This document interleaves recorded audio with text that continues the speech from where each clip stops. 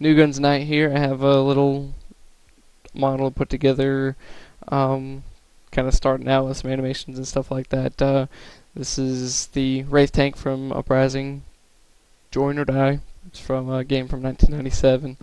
Um, just kind of copied it over, you know, as close as I could to what the original Wraith looks like. Uh, and looking to detail this a little bit more, give it some some real sculpture, some real look, some real fierce uh, identity.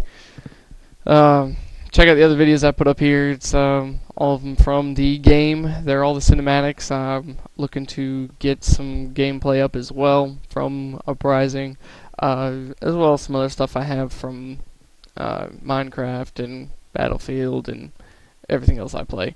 Um, and that, uh, you guys have a wonderful day. Appreciate you checking out my video. Don't forget to subscribe and uh, peace off.